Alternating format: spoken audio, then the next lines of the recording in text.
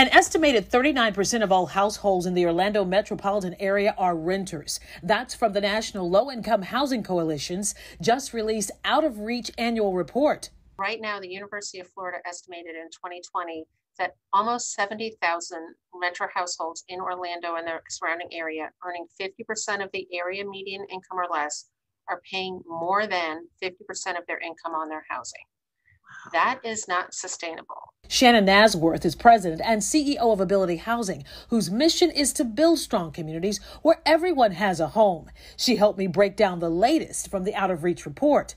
An Orlando area worker making minimum wage would need to work 117 hours a week, nearly three full time jobs, to afford a two bedroom rental at fair market rent, which is just over $1,300. If they have children, we're talking three to four full time jobs at minimum wage. And obviously, that is not something a single parent can do.